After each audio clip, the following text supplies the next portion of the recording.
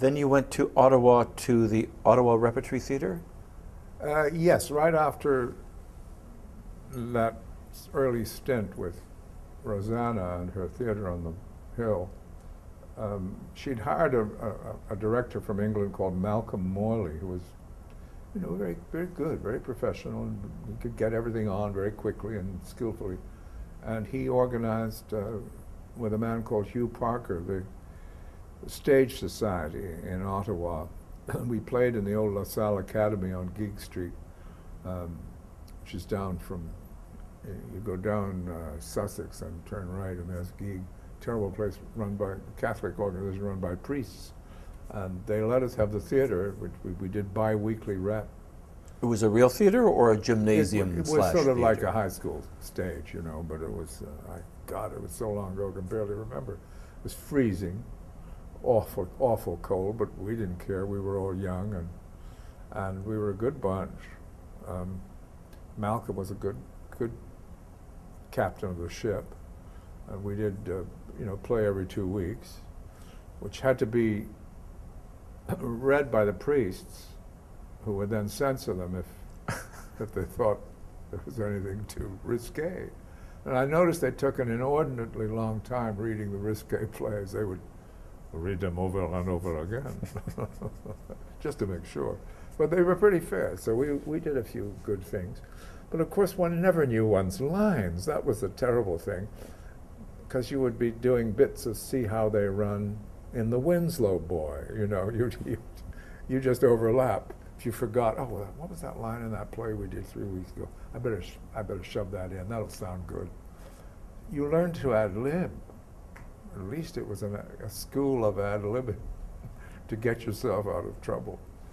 But uh, it was a wonderful gang, and it became very instantly the following year the Canadian Repertory Theatre, which it was called, and it was really the first English theatre in, in Canada that, for a long time, that was professional. We all were paid for it.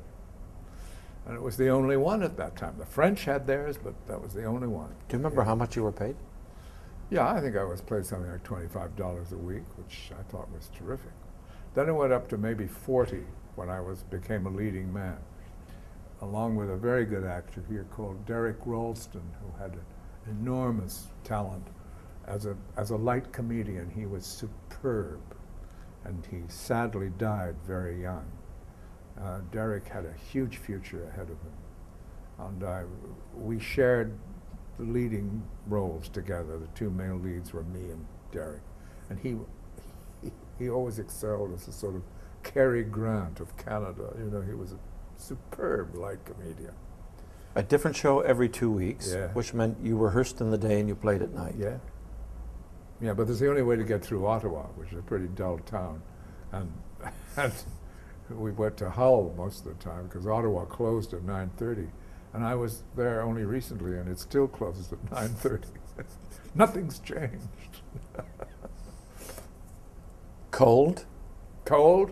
Audience in fur coats? That's why we drank, of course, just to keep warm.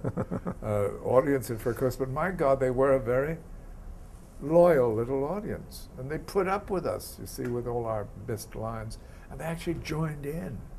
And it was wonderful. They, they came to sort of laugh at us, really. And then, they, then finally, they had a great affection for us and we for them. They were so loyal. How they ever put up with us, I don't know. But there were some very talented people in that company. Amelia Hall had, took, had taken over as the artistic director of the Canadian Repertory Theatre from, from Malcolm Morley when he left.